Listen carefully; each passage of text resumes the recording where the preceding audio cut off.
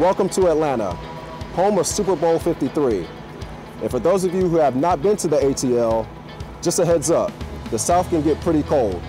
I'm Officer Matthew Crump with the Atlanta Police Department, and we're here to keep you safe and give you a few useful tips when it comes to navigating the city of Atlanta. Georgia weather, it can be unpredictable at times, so please be prepared. Make sure that you have a coat, some gloves, a scarf, and even a rain poncho, as most venues do not allow umbrellas. Also, the temperature can drop drastically, which can make the roads hazardous. If it has been raining, wet roads will turn to ice, so please plan accordingly. Check the National Weather Service website or follow the Atlanta Fulton County Emergency Management Agency on social media for the latest conditions. Follow the Atlanta Police Department on social media for more useful tips. We hope you enjoy Super Bowl 53 and all the festivities it has to offer.